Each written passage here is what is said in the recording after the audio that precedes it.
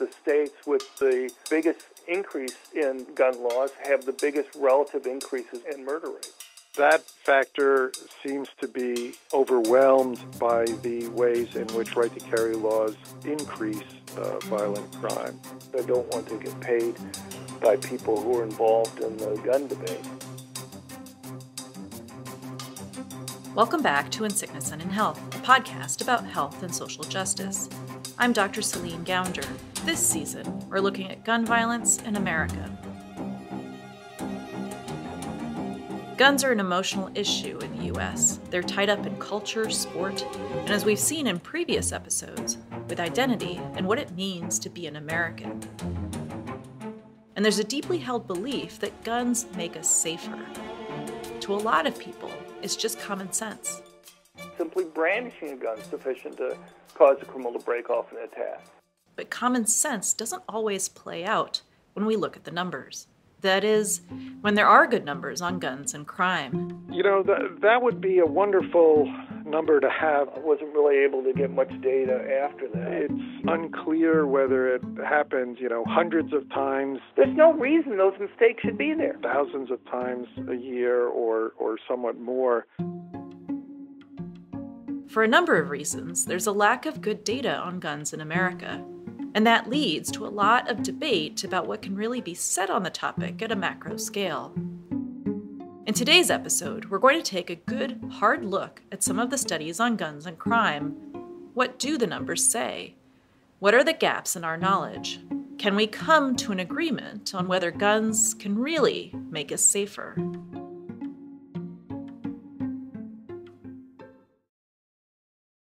There's no way to have a conversation about guns and public safety in America without this guy. If an attack does occur, uh, it turns out the safest course of action for a victim to take when they're confronted by a criminal is to have a gun. This is John Lott. Guns obviously make it easier for bad things to happen, but they also make it easier for people to protect themselves and prevent bad things from happening. Lott is an economist and the president of the Crime Prevention Research Center. But before that, he was a professor at the University of Chicago who was asked by his students to talk to them about gun regulation. I'd read some papers in the area, but uh, and they were really bad. But I just assumed I hadn't really looked much at the literature. It turns out, pretty much everything that was done at that time was pretty poorly done. This was back in the 1990s. Lott saw that the studies at the time looked at guns in one of two ways. Either they were comparing two countries' experiences with guns, say the US and the UK, or they were focusing on just one place over a period of time. And all the studies up until that point had been one of those two types of studies. But this isn't a great way to get at the impact of different policies in different places and contexts over time. For one, it's difficult to know what's really going on if you can't isolate all the factors that could be influencing outcomes. And it's only by having enough experiments in enough different years that you can hopefully disentangle uh, these things that are going on there. And that's, that's called panel data. Okay, bear with me here. Panel data is when you look at multiple dimensions of information over a period of time. Maybe you've heard of a longitudinal study, that's basically the same thing. For example, we might look at the impact of smoking on lung cancer, not at one point in time, but over a lifetime. As part of such a study, we'd also want details on other factors that might increase someone's risk of lung cancer, like exposure to secondhand smoke or having worked as a miner. The way to solve these problems is essentially to combine time series and cross sectional data where you're following lots of jurisdictions over time to see how the murder rate or violent crime rate is changing before and after there's a change in the law, and to see how it's changing relative to other places that aren't changing their laws. And if you have enough places that changes change their laws in enough different years, uh, then you can begin to disentangle things, hopefully, a little. So, kind of like you'd study many people who smoke, who used to smoke, and who never smoked, how much they smoked, and if they got lung cancer. Similarly, Lott set out to study gun regulations. He looked at the years between 1977 and 1992. Specifically, he looked at crime in the eight states that passed right to carry laws, compared with the states that didn't. The results of that study set off a bombshell in the gun debate. The reason why I ended up focusing on right to carry laws was because it's the only one that seemed to make a difference in what was going on in terms of crime rates. It wasn't just that cr- violent crime rates fell uh, after you passed right to carry laws, but what you found is that the longer uh, the law was in existence, you saw a bigger drop, and in particular, uh, it was related to the changing share of the population with concealed carry permits. If you believe that uh, you know the greater the risk to the criminal, and that greater risk is going to be related to the likelihood that they'll run into somebody who's able to go and defend themselves. Uh, if as that increases, you see, should see greater deterrence. Lott's hypothesis boiled down to more guns, less crime. That's the name of the book he went on to publish in 1998 while he was working at the University of Chicago. Right to carry laws, also known as shall issue laws, mean you don't need to demonstrate, quote, good cause to get a license to carry a concealed firearm. Lott found that the states that adopted right to carry laws saw a drop in murder rates compared to states without right to carry. His research also saw a reduction in violent crime, basically crimes between two people, like a robbery or an assault. Questions why should that be the case? And what you see, what I would argue, is that again, it's related to the probability that somebody's going to be able to stop a crime from occurring.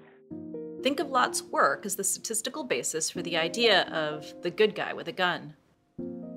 Yeah, I mean, the, the Lott thesis was um, if more law abiding citizens were carrying guns, they could thwart crime when they were accosted by a criminal. And there certainly are examples of that happening. Um, but that factor seems to be um, overwhelmed by the ways in which right to carry laws uh, facilitate or increase uh, violent crime. This is John Donohue. Yeah, and I'm a professor of law at Stanford Law School and also a uh, research uh, associate of the National Bureau of Economic Research. If John Lott made a name for himself saying more guns equals less crime, John Donohue made his by saying the opposite. He did a econometric evaluation of the uh, uh, impact on crime of the adoption of that law in those eight states and came to the conclusion that right to carry laws actually reduced crime. And so this created quite a stir.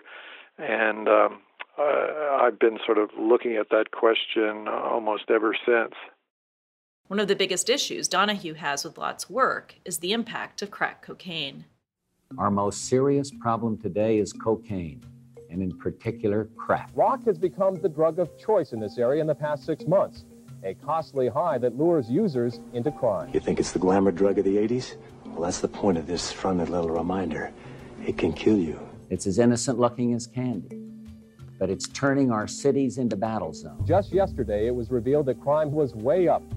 Between the early 1980s and the early 1990s, the US was racked by the crack cocaine epidemic at precisely the same time that violent crime was shooting up. Study after study has shown that crack and the homicide rate were closely intertwined. The problem that it created was that the original eight states that a Lott looked at were largely rural states. States like Montana, West Virginia, Mississippi, and Maine. And their experience with crack was very different from states like uh, Illinois or uh, New York or California that did have a big crack problem. And these crack states were states that did not have right to carry laws. So when Lott did his analysis, uh, he found that crime rose more in the states that did not adopt right to carry laws than it did in the eight states that did. but it was really a, uh, a, a crack phenomenon that was explaining that differential rather than the adoption of a right to carry law restraining a, a crime increase. John Lott again. He can go and argue whatever he wants to about cocaine, but it's there's like five different ways I had dealt with it before he even uh, claimed that I hadn't dealt with it. We had gotten data on uh, cocaine prices by county in the United States over time. We didn't have it over the full period, but we had it over most of the time period that we looked at. The way Lott tried to control for the impact of crack on crime was through prices. Donohue says this would be like doing a study on car accidents and using the price of cars as a surrogate for the number of cars in a particular state. You might have that data, but Donohue argues the price doesn't really tell you anything. You know, it's one thing if Donohue had gone and argued that, look, and Mustard tried to deal with cocaine. I don't think they dealt with it right. Uh, I would have done it differently. That would have been one thing to go and argue. But that's not what he argued. He kept on arguing, and I'm sure you've seen this. Uh, if you've looked through his papers, he's argued over and over again that, that we haven't dealt with it. And, uh, you know, and my 98 paper with Bronars, one of the reasons why we sent it up is, well, long before Donohue brought up the objection about cocaine. John Lott is talking about a 1998 paper he did after his book More Guns, Less Crime came out. In this study, he and Stephen Bronars looked at counties on either side of state borders, where one state had right to carry and the other didn't. That was the paper that had looked at these adjacent counties on opposite sides of state borders.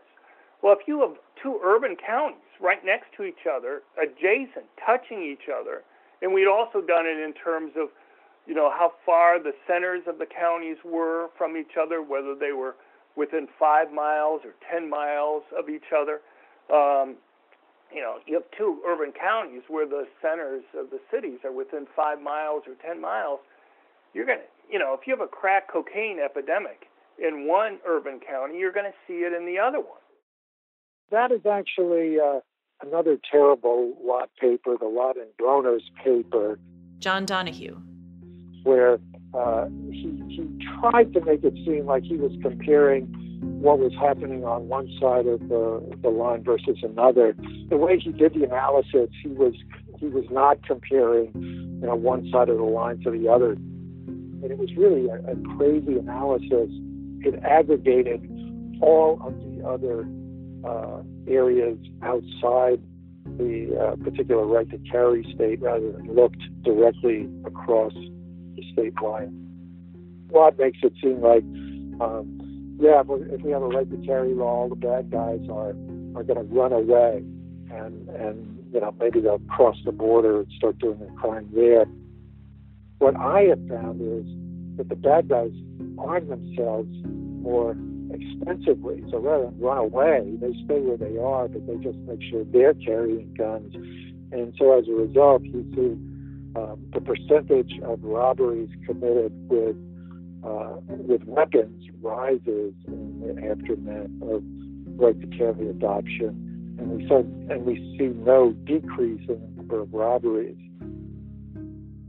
Lott also cites shootings in gun free zones, places like schools, movie theaters, and places of worship, as further evidence that guns deter crime.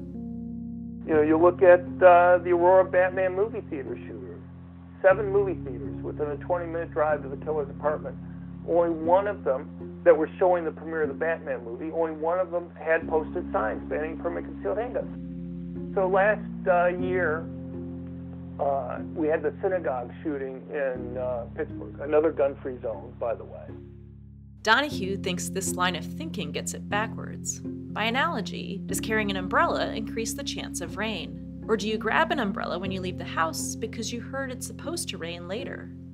Louis Klarevas uh, has researched uh, mass shootings, and and he shows that uh, the factors that usually explain uh, uh, mass shootings are uh, a place that somebody has a particular gripe against. So either a school that they feel they were mistreated at, or a workplace, and uh, the, the mass shootings that are done in public are usually uh, um, focused on some particular uh, uh, grievance or, or target that seems to be unrelated to whether it's a gun free zone or not. Does making a building a gun free zone increase the probability of a shooting? Or are certain places designated gun free because they're known to be higher risk? The NRA position is, uh, you know, we're better off if we arm more people and allow, uh, uh, you know, the populace to be walking around with with guns. The extension of that position is that there shouldn't be any areas where you're not allowed to carry guns because uh, we may invite uh, more criminal activity in the so called gun free zones. Take, for instance, the ultimate gun free zone airports and airplanes.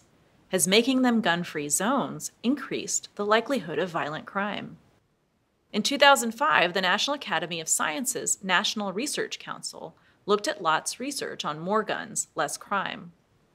The Council's report arrived at a very unsatisfying answer that there was, quote, no credible evidence that the passage of right to carry laws decreases or increases violent crime.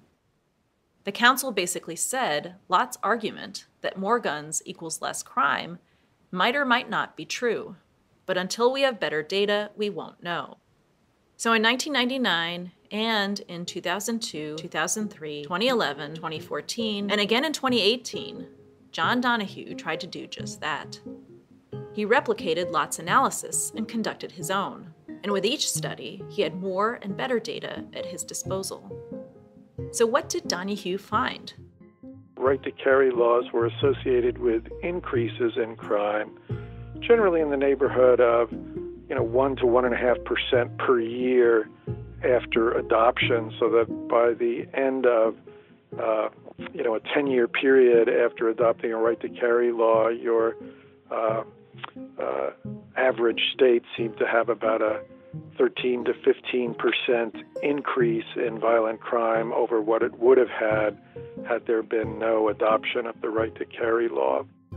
As much as a 15% increase in violent crime in states with right to carry laws. That's 180 degrees from Lott's findings.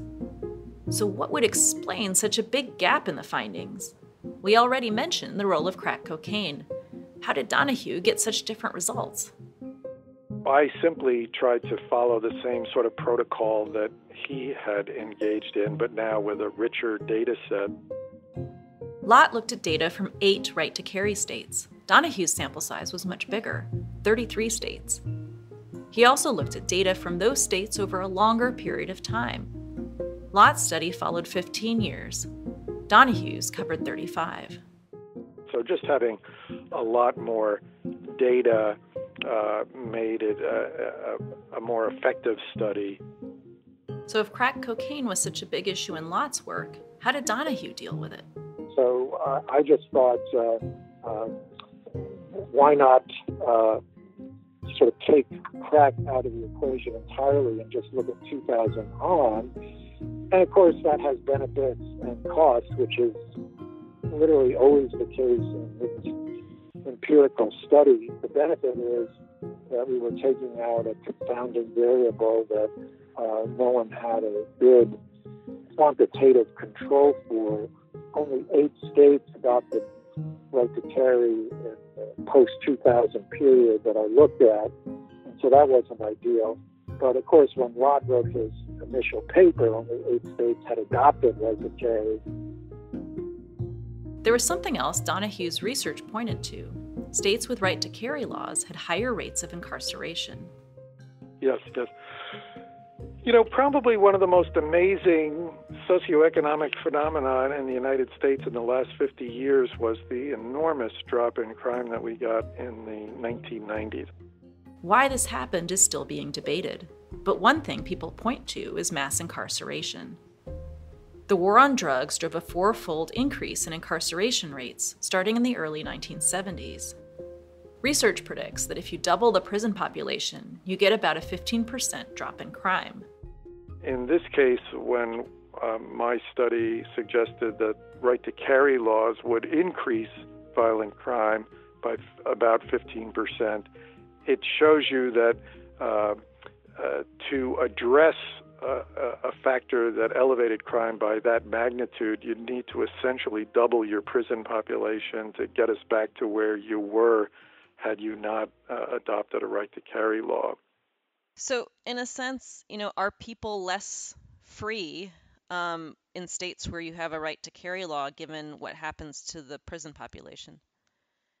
Yes, and and uh, essentially what has happened is uh, that uh, the states that have adopted right to carry laws uh, have experienced an increase in violent crime because of it, but they've tried to moderate that increase by uh, growing their police force and and locking up more people.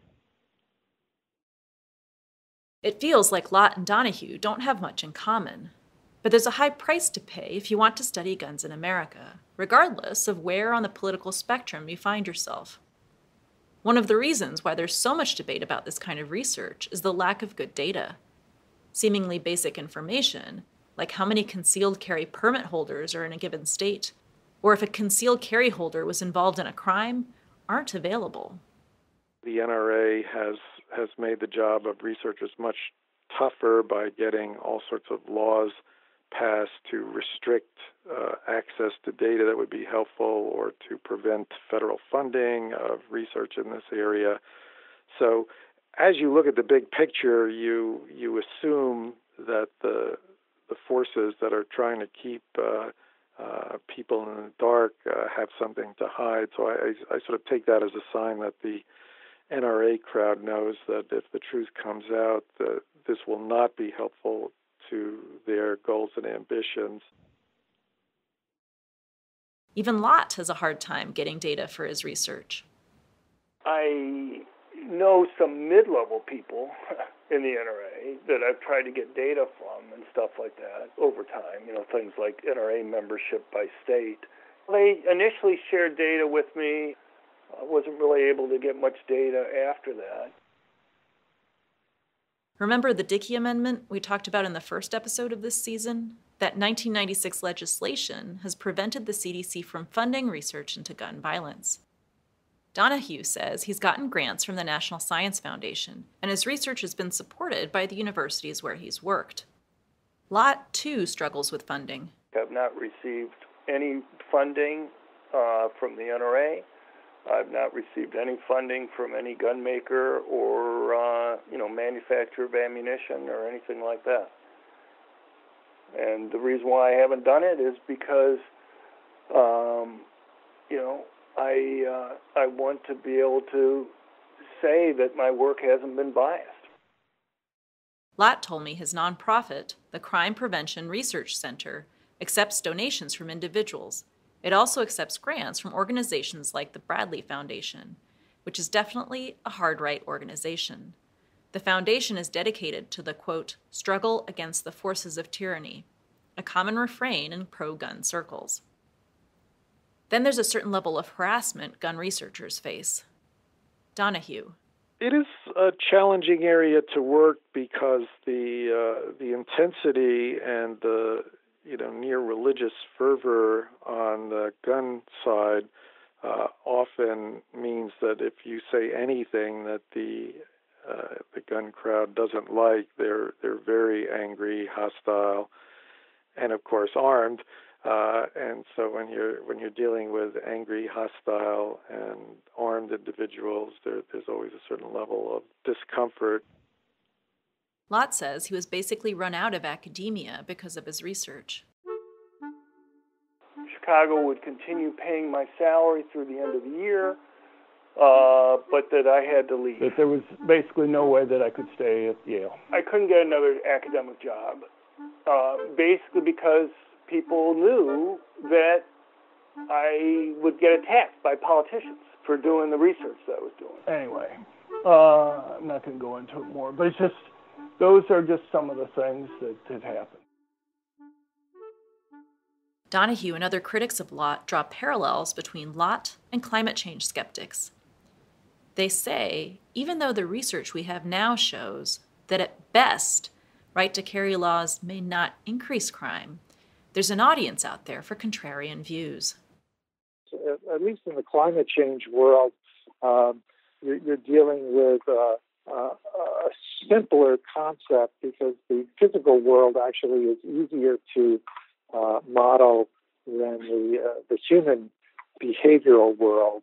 We have, you know, perfect data on, uh, you know, temperatures and all of these factors, you know, CO2 emissions that go into the, the climate science. Um, so it is it is easier, and you also have hundreds or thousands of top scientists working on that question.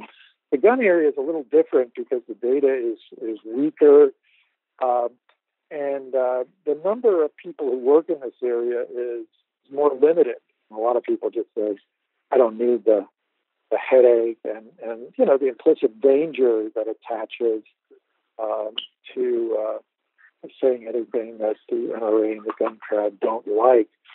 So what you get is some really second-rate work along the lines of some of the challengers to climate science.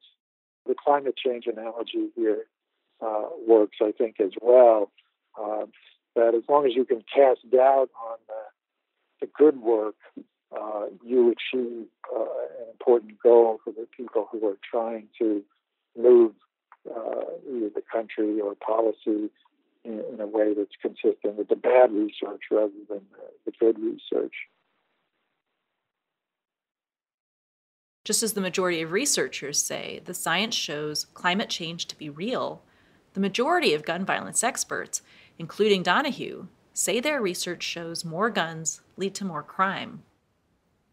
I think that, uh, um, you know, my current paper is the best study available on what the impact of, of right to carry laws is on, on crime, but um, that certainly won't keep the, uh, uh, you know, the, the gun crowd from trying to uh, poke holes in it and uh, we'll, we'll just see in the fullness of time uh, who, who prevails in the academic world versus who prevails in the political world.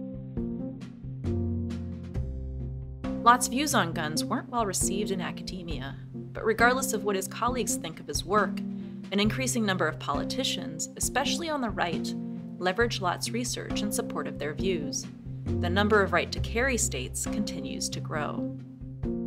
I think it's easier to overestimate the impact that anybody has. Probably true for my work. I don't think it's had as much impact as some people claim. In fact, the latest trend is permitless carry, which means someone of any age can legally carry a loaded gun without a license or permit. Vermont was always a permitless carry state. Alaska made the switch in 2003, and since 2010, over a dozen states have gone to permitless carry, and most of those also allow open carry. We're going to have more information on this shortly.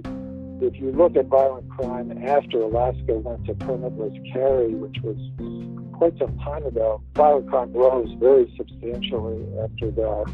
Uh, so I, I suspect we're going to see this these changing laws are natural experiments, further tests of Lott's hypothesis more guns, less crime. We could very well see some even bigger changes in gun regulations in the years to come. The Supreme Court recently decided to hear its first major gun rights case in almost a decade. This case, New York State Rifle and Pistol Association versus New York, could potentially allow permitless carry nationwide and one of Donohue's former students will soon get to weigh in. Now, Kavanaugh's on the Supreme Court. He was in the economics class I taught at Yale when he was an undergraduate. But not in the direction Donohue's research would point. We may be in a situation where the Supreme Court uh, strikes down every gun regulation in America on Second Amendment grounds which is what uh, my former student Brett Kavanaugh seems to want to do based on his uh, earlier decision as a uh, uh DC Court of Appeals judge in uh, which uh, he, he would have voted to strike down the assault weapon ban, uh, probably the uh, high capacity magazine ban, and, and the registration of guns in the District of Columbia. In this business, what you ultimately come to realize is for many politicians and legislators and even judges, what matters is not what is the best science. What matters is um, is there something that looks like science that I can use to support the position that I want to reach? Donohue and others have discredited Lott's research. Yet Lott continues to have an outsized influence in the American gun debates. In our next episode, we'll keep delving into the research on whether guns make us safer or not. We'll delve specifically into self defense and guns, when and how people use guns in self defense, and how that plays out. Today's episode of In Sickness and in Health was produced by Zach Dyer and me. Our theme music is by Alan Best. Additional music by the Blue Dot Sessions. You can learn more about this podcast and how to engage with us on social media at In Sickness and in Health podcast.com. That's In Sickness and in Health podcast.com. If you like what you hear, please leave us a review on Apple Podcasts. It helps more people find out about the show. I'm Dr. Celine Gounder. This is In Sickness and in Health.